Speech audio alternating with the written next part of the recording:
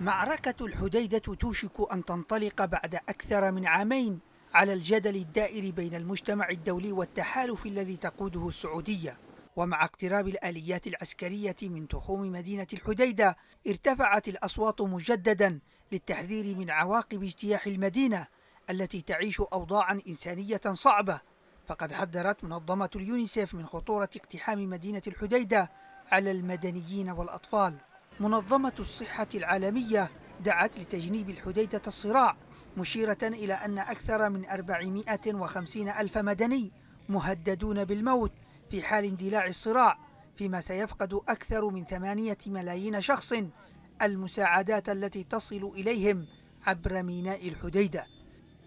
بالتزامن مع اقتراب القوات العسكرية من أطراف المدينة قالت مصادر أممية إن العشرات من العاملين في المنظمات الإنسانية التابعة للأمم المتحدة بدأوا في مغادرة الحديدة. الرئيس هادي أصدر بيانا شدد فيه على أهمية تحرير المحافظة التي تعد الشريان الاقتصادي للميليشيا وخط الإمداد لمقاتليها في تعز والساحل الغربي. الحكومة في بيان لها أكدت استعدادها لتحمل الأعباء الإنسانية الناجمة عن عملية تحرير المحافظة وأبدت استعدادها لإعادة تطبيع الحياة بشكل سريع عقب دحر ميليشيا الحوثي منها. على المستوى الدولي تبدو الأصوات المعارضة أقل خفوتا فيما يبدو أنه نجاح للتحالف في تحييد الأصوات المعارضة لمعركة الحديدة وهو ما ظهر جليا في البيانات الركيكة الصادرة عن الأمريكيين والأوروبيين خلال اليومين الماضيين.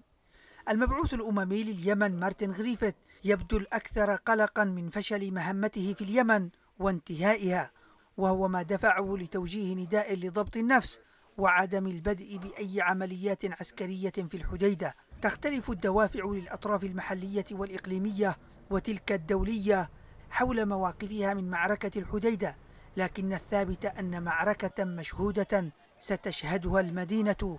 قد تسهم في تغيير المشهد اليمني بشكل كبير وإذا لم تستثمره الشرعية فإنها ستصبح الطرف الأكثر ضعفا وقد تدفن أيضا في ذات المنطقة التي يسعى التحالف لإعادة تسليمها لقوى لا تعترف بهذه ولا بشرعية حكومته.